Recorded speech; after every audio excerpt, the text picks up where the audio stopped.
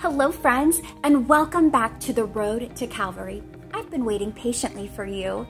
Today, before we even get started, I want to tell you guys something really, really awesome. You may or may not know that I'm doing two other devotionals just like this, where I'm on this side of the screen and the person who's listening is on the other side of the screen. I'm doing two other ones for maybe people who are a little bit older, right? So I'm doing two others. And you guys, you guys are the ones who are reading the most amount of scripture. Isn't that awesome that you and I are spending more time in God's Word than the other two Bible devotions? Amazing, right? Let's do a high five. Should we do that? Boom, high five. I am so proud of you guys. And today we get to read a bunch more verses together. We're going to take our Bibles and we're going to open them up to Luke 22 so that we can read verses 54 through 57. And we're going to be listening for a charcoal fire. So let's take our Bibles and let's get them all opened up to Luke 22, 54 through 57. I've got my Bible right here and I'm going to start reading. Then they seized him and led him away. They grabbed onto him and they led him away, bringing him into the high priest's house. And Peter was following at a distance. Yep, it's that same Peter who had the sword before. Yep. And when they had kindled a fire in the middle of the courtyard and sat down together, Peter sat down among them. Then a servant girl, seeing him as he sat in the light, looking closely at him, she said, This man was also with him, him being Jesus.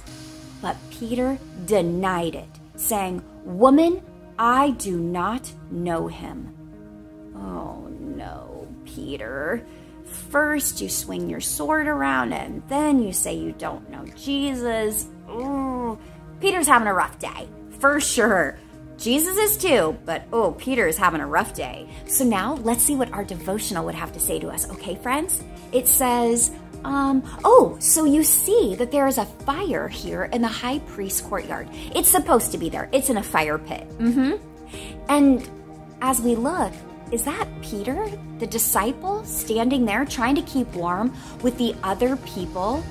Be careful, Peter. Jesus warned that you would be tempted to deny him. Be careful, Peter.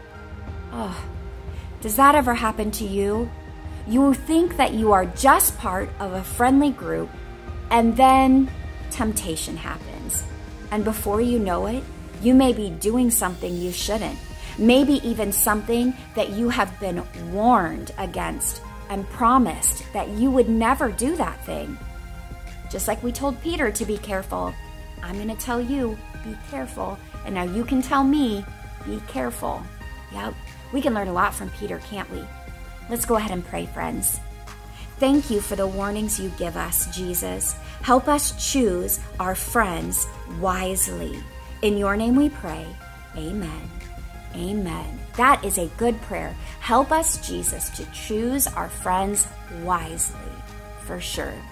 I love you so much, my friends. I have chosen wisely.